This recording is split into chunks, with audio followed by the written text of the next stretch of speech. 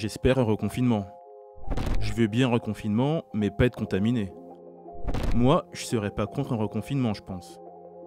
Sur Twitter, les messages de ce type se multiplient.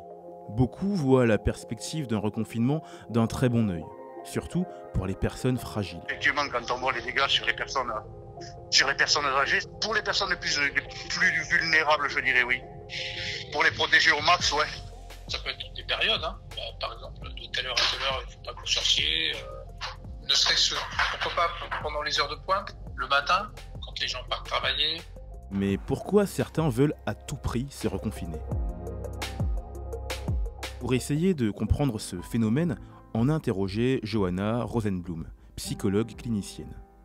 Il y a une certaine nostalgie, une vraie nostalgie du confinement, même pour ceux qui n'ont pas eu de mal à se déconfiner. Hein. Mais c'est vrai que pour ceux qui ont vécu le déconfinement comme une souffrance euh, psychique, comme quelque chose, une fois encore, qui, leur était imposé, euh, a posteriori, se disent qu'ils n'étaient pas si mal confinés, euh, qu'ils ont eu davantage de capacité à s'adapter au confinement qu'au déconfinement. Donc en cela, ils sont peut-être assez volontaires pour un reconfinement.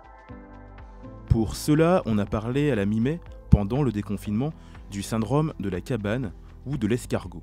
Il désigne la peur de retrouver le monde extérieur après une longue période passée chez soi on s'est rendu compte que ce qui était vécu au début du confinement comme une punition, quelque chose de difficile à respecter et intégrer, était finalement devenu euh, une arme contre l'ennemi invisible. Notre domicile, notre appartement, c'est devenu notre cocon protecteur, le lieu qui nous permet de nous ressourcer, d'avoir un repli sur soi et d'éviter de s'exposer à tout ce qui nous inquiète en ce moment, et notamment le Covid.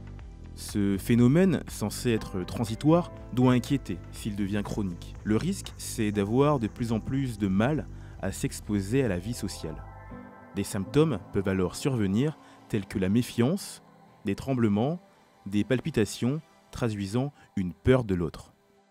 Je pense qu'il faut écouter les autorités sanitaires et ne pas s'imposer un confinement s'il n'est pas recommandé pour l'instant et ne pas tomber dans les excès, c'est-à-dire de la même manière qu'il ne faut pas sortir euh, sans respecter les distanciations, sans porter le masque. À l'inverse, il ne faut pas faire un excès de zèle en s'enfermant soit ses enfants euh, et se replier euh, du monde social alors que pour l'instant, la question n'est pas encore sur le tapis.